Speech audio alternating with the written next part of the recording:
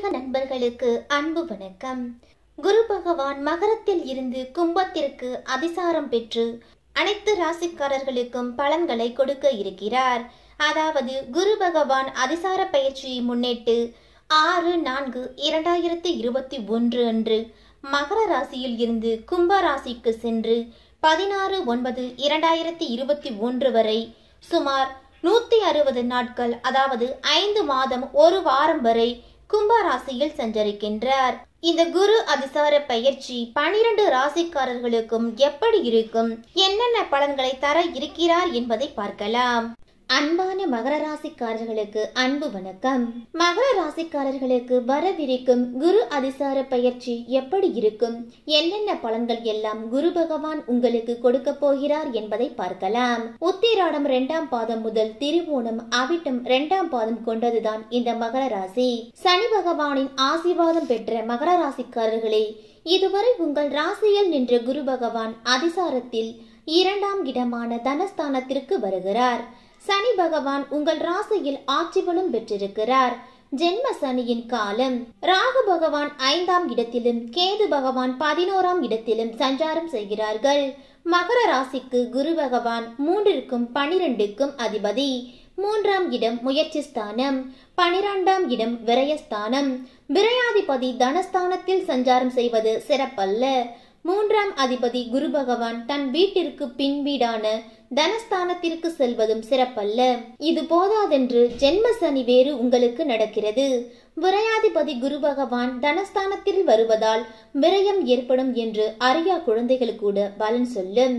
ஆனால் வரவு இருந்தால்தானே செலவு செய்ய முடியும் என்ற உங்களின் கேள்வி நியாயமானதுதான். ஜென்ம சனியாக இருந்தாலும் சனி பகவான் மகரத்திற்கு தனாதிபதி என்பதால் தனவரவு இருந்து கொண்டே இருக்கும். ஐந்து ரூபாய் மிச்சம் இல்லாமல் செலவும் இருந்து கொண்டேதான் இருக்கும். நாளை வரப்போகும் வருமானமும் இன்றே கரையும். பற்றாக்குறைக்கு கடன் வாங்கியும் செலவு செய்ய வேண்டிய கஷ்டமான காலம். குறைந்த வருமானத்திற்கு அதிக நேரம் உழைக்க நேரிடும். செலவை சரி செய்ய நேரம் இல்லாமல் வேலை செய்ய வேண்டிய காலம் என்றே கூறலாம். கோபித்து கொண்டோ மன வருத்தத்திலோ வீட்டை விட்டு போன உறவுகள் வீடு திரும்புவார்கள். தொலைந்து போன கைமறதியாக வைத்த பொருட்கள் மற்றும் ஆவணங்கள் திரும்ப கிடைக்கும். சிலர் காணாமல் போன ஆவணங்களுக்கு நகல் போடுவார்கள். இதுவரை கூட்டு குடும்பமாக இருந்த சகோதரர்கள் பிரிந்து தனி குடித்தனம் செல்வார்கள். சிலரின் இளைய சகோதரர் தொழில் மற்றும் உத்தியோக நிமித்தமாக வெளியூர் செல்லலாம். சிலருக்கு நிதானமற்ற நிலை பய உணர்வு இருந்து கொண்டே இருக்கும். எந்த பிரச்சனையையும் வெட்டு ஒன்று துண்டு இரண்டு என்று முடிவெடுக்க முடியாத தடமாற்றம் இருக்கும். சிலருக்கு ஞாபக மறதி மற்றும் மனச்சோர்வு அதிகமாகும்.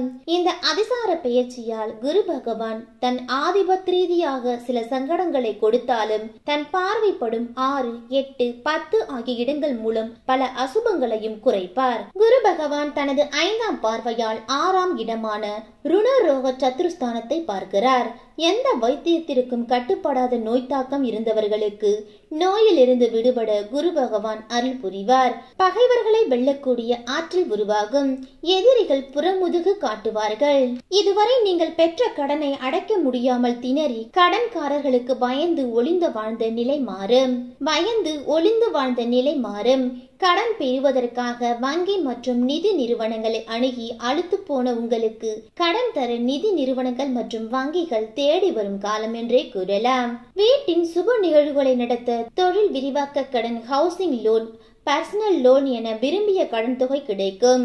குரு பகவானின் ஏழாம் பார்வை எட்டாம் இடத்தில் பதிகின்றது. எட்டாம் இடம் என்பது பெண்ணுக்கு மாங்கல்ய ஸ்தானம் ஆணுக்கு ஆயுள் ஸ்தானம் சில பெண்களின் ஜனலகால ஜாதகத்தில் எட்டாம் இடத்தில் நீச்ச கிரகங்கள் வக்கர கிரகங்கள் நின்று திருமண தடையை ஏற்படுத்தும். இது போன்ற மாங்கல்ய தோஷத்தால் தடைப்பட்ட திருமணம் குருவருளாலும் பெரியோர்களின் நல்லாசியாலும் இனிதே நடைபெறும். வாழ்க்கை துணையின் ஆயுள் பலப்படும். ஆரோக்கிய குறைபாடு அகலும். எட்டாம் இடம் என்பது திடீர் அதிர்ஷ்டத்தை பற்றி கூறும் இடம் என்பதால் அதிர்ஷ்ட பொருள் வரவு ஏற்படும். உங்களை அவமானப்படுத்திய வழக்குகளின் தீர்ப்புகள் சாதகமாகும். சிறை தண்டனை அனுபவித்துக் கொண்டு இருப்பவர்கள் நன்னிடத்தை காரணமாக விடுவிக்கப்படுவார்கள். ஜனனகால ஜாதகத்தில் எட்டாம் இடம் வலிமையாக இயங்கினால் வெளிநாட்டிற்கு சென்று பிழைப்பு நடத்தும் சூழல் உருவாகும் குருவின் ஒன்பதாம் பார்வை பத்தாம் இடமான தொழில் ஸ்தானத்தில் பதிகின்றது. பத்தாம் இடத்திற்கு ராசி அதிபதியும் சனியின் பார்வையும் இருக்கின்றது. அது சுக்கிரனின் வீடான துலாம் என்பதால் அழகு ஆடம்பர பொருட்கள் தொடர்பான தொழில் இருப்பவர்களுக்கு ஏற்றமான நேரம் என்றே கூறலாம். ஜென்ம சனியின் காலம் என்பதால் மன சஞ்சலத்தில் எடுக்கும் முடிவுகள் தவறாகும் வாய்ப்புகள் அதிகமாக உள்ளது. முக்கியமான முடிவுகளை பலமுறை சிந்தித்து செயல்படுத்த வேண்டும். சுய ஜாதகத்தின் தசாபுக்திக்கு ஏற்ப தொழிலை விரிவுபடுத்தும் முயற்சியில் ஈடுபடலாம். பதினோராம் இடமான லாபஸ்தானத்தில் கேது இருப்பதால் சிறிய லாபத்திற்கு கடுமையாக உழைக்க நேரிடும். ஆறு நான்கு இரண்டாயிரத்தி இருபத்தி ஒன்று முதல் இருபத்தி இரண்டு ஐந்து இரண்டாயிரத்தி இருபத்தி ஒன்று வரை அவிட்ட நட்சத்திரத்தின் சஞ்சார பலன்கள். செவ்வாயின் நட்சத்திரமான அவிட்டம் மகர ராசிக்கு நான்கு மற்றும் பதினொன்றுக்கு அதிபதி. பருவ வயது எட்டியும் பருவமடையாத பெண் குழந்தைகள் பருவமடைவார்கள். உயிரின வளர்ப்பில் ஆர்வம் அதிகரிக்கும். வீடு கட்டும் எண்ணமும் நில புலன் வாங்கும் எண்ணமும் இல்லாதவர்களுக்கு சொத்து சேரும். தாயாரின் அன்பை சாதகமாக்கி தாயாரின் வீடு மனையை தன் பெயரில் பட்டா போடுவார்கள். சிலரின் தாய் மூத்த மகனுக்கு தெரியாமல் முக்கிய சொத்துக்களை இளைய மகனுக்கு மட்டும் கொடுப்பார்கள். இது போன்ற காரணங்களால் பதினொன்றாம் இட கேது மூத்த சகோதரர் மூலம் வம்பு வழக்கை தருவார். புறம்போக்கு நிலத்தை பட்டா போட்டு விற்கும் ரியல் எஸ்டேட் உரிமையாளர்கள் சட்ட சிக்கலை சந்திக்கலாம். மகர ராசி விவசாயிகள் நிலத்தை குத்தகைக்கு விடுவதன் மூலம் பெரும் இழப்பை தவிர்க்கலாம். இருபத்தி மூன்று ஐந்து இரண்டாயிரத்தி இருபத்தி ஒன்று முதல் இருபத்தி ஒன்று ஆறு இரண்டாயிரத்தி இருபத்தி ஒன்று வரை சதய நட்சத்திரத்தின் சஞ்சார பலன்கள். சதயம் ராகுவின் நட்சத்திரம். கோச்சார ராகு ஐந்தாம் இடத்தில் இருப்பதால் குழந்தைகளுக்கு சிறிய ஆரோக்கிய குறைபாடு ஏற்படும். சிலரின் பிள்ளைகள் தவறான நட்பு வலையில் மாட்டி வம்பு வழக்கை விலை கொடுத்து வாங்குவார்கள். குழந்தை பாக்கியத்திற்காக செயற்கை கருதறுப்பை நாட ஏற்ற காலம். ஐந்தாம் இடம் ஆழ் மனதை குறிக்கும் இடம். அங்கே ராகு இருப்பதால் எண்ண சிதறல் மிகுதியாக இருக்கும். இறை நம்பிக்கை சற்று குறைவாக காணப்படும்.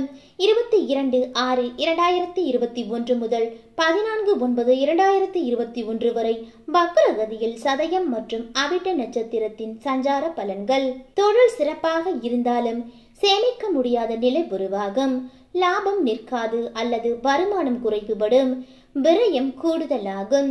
குடும்ப சுமை சற்று அதிகரிக்கும். திடீர் இடமாற்றத்தால் குடும்பத்தை பிரியும் சூழ்நிலை உருவாகும். வெளிநாட்டில் இருப்பவர்கள் திரும்ப தாயகம் வர முடியாத சூழ்நிலை உருவாகும்.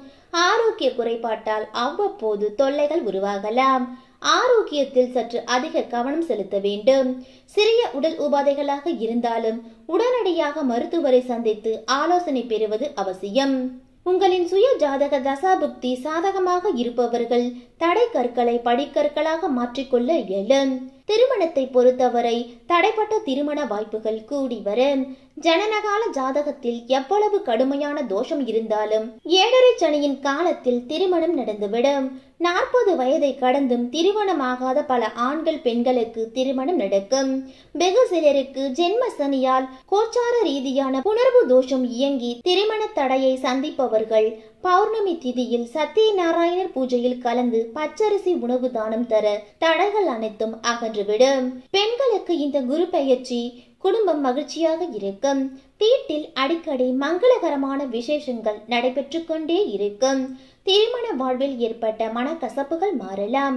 பிறந்த வீட்டாரும் புகுந்த வீட்டாரும் ஒன்றாக கலகலப்பாக பழகுவார்கள். மாமியார் மருமகள் உறவு மகிழ்ச்சியாக இருக்கும். பணப்புழக்கம் அதிகரிக்கும். நகைச்சீட்டு ஏலச்சீட்டு என சேமிப்புகள் அதிகரிக்கும். நகை புடவை என ஆடம்பர அழகு பொருட்கள் வாங்கி ஆனந்தமாக வாழ்வீர்கள். வாழ்க்கை துணையுடன் வாக்குவாதத்தில் ஈடுபட வேண்டாம். மாணவர்களுக்கு இந்த குரு அதிசார பயிற்சி குருவின் ஐந்தாம் பார்வை ஆறாம் இடத்தில் இருப்பதால் ஆன்லைன் கிளாஸிலிருந்து விடுபட்டு பள்ளிக்கு செல்ல ஆரம்பித்து விடுவார்கள். ஜென்ம சனி மற்றும் ஐந்தாம் இட ராகுவால் ஞாபக சக்தி குறைவு அதிகமாக இருக்கும். கல்வியில் நாட்டம் சற்று குறைவாகத்தான் இருக்கும். மெத்தன போக்கு நிலவும். சோம்பலும் மறதியும் அதிகமாகும். தினமும் ஹயக்ரீவர் வழிபாடு செய்து வர படிப்பில் ஆர்வம் அதிகரிக்கும். போட்டித் தேர்வில் வெற்றி சுலபமாகும். பொதுத் தேர்வில் மகர ராசி பிளஸ் டூ மாணவ மாணவிகள் அதிக மதிப்பெண் பெற்று தேர்ச்சி அடைவார்கள். சக மாணவர்களிடம் உங்கள் தனித்திறமை வெளிப்படும். குழந்தைகளை பொதுத் தேர்வுக்கு தகுதிப்படுத்தும் ஆசிரியர்கள் மாணவர்களுடன் ஒத்துழைப்பு நல்குவார்கள். முதலீட்டாளர்களை பொறுத்தவரை ஏழரை சனியின் காலம் என்பதால் சுய ஜாதகம் அறிந்து புதிய தொழில் தொடங்கும் முயற்சியில் ஈடுபடுவது நல்லது. வியாபாரம் சிறப்பாக நடைபெற்று பணவரவு இருந்தாலும் லாபம் நிற்காது. வேலை பழு சற்று அதிகமாகும். பதினொன்றில் கேது இருப்பதால் பொருளாதாரம் பண பரிவர்த்தனை தொடர்பான வம்பு வழக்கு வீட்டு கதவை தட்டி வரும். எந்த பிரச்சனையாக இருந்தாலும் சட்டத்தை நாடாமல் இருப்பது நலம். சட்டம் உங்களுக்கு சாதகமாக இல்லாத காலம் என்பதால் சாட்சிக்காரன் காலில் விழுவதை விட சண்டைக்காரன் காலில் விழுவதே மேல் என பிரச்சனைக்கு சம்பந்தம் பெற்ற நபருடன் நேரடியாக பேசி சமரசம் செய்ய முயற்சி செய்ய வேண்டும். உங்கள் இஷ்ட தெய்வம் அல்லது குல தெய்வத்தின் மேல் நம்பிக்கை வைத்து இந்த அதிசார குரு பேச்சியை கடப்பது சிறப்பு. உத்தியோகத்தில் இருப்பவர்களுக்கு ஆறாம் இடத்திற்கு குருவின் பார்வை இருப்பதால் கொரோனாவால் வேலை இழந்தவர்களுக்கு புதிய வேலை கிடைக்கும். புதிதாக வேலைக்கு முயற்சி செய்பவர்களுக்கும் அவர்களின் திறமைக்கும் தகுதிக்கும் பொருத்தமான வேலை கிடைக்கும். பணி நீக்கம் செய்யப்பட்டவர்களுக்கு மீண்டும் பணியில் சேர வாய்ப்புகள் உருவாகும். ஏழரை சனியின் காலம் என்பதால் அடிக்கடி வேலை மாற்றம் செய்வதை தவிர்க்க வேண்டும். அரசு பணியாளர்களின் உத்தியோகம் தொடர்பான வழக்குகளில் திருப்பம் ஏற்படும். உத்தியோகத்தில் இருப்பவர்களுக்கு ஊதிய உயர்வு மற்றும் உத்தியோக உயர்வு சற்று கண் துடைப்பாகவே இருக்கும். அரசியல்வாதிகளை பொறுத்தவரை ஜென்மசனியின் காலம் என்பதால் பகைவர்களிடம் கூட அன்பாக பேசி காரியத்தை சாதிக்கும் தன்மையை வளர்த்து கொள்ள வேண்டும். ஜனனகால ஜாதகத்தில் தசாபுக்தி சாதகமாக இருந்தால் பதவி நிச்சயம். சிலருக்கு கட்சியில் செல்வாக்கு குறைவது போல் மனம் வேதனை அடையலாம். வீண் அவமானம் ஏற்படவும் வாய்ப்புகள் உள்ளது. மிக பெரிய கட்சியில் இணையும் வாய்ப்பு கிட்டலாம். அரசியல்வாதிகளுக்கு மறைமுக எதிர்ப்பு ஏற்படும். கட்சி தொடர்பான வழக்குகளில் சிக்கினால் உங்களின் எதிர்காலமே கேள்விக்குறியாகும்.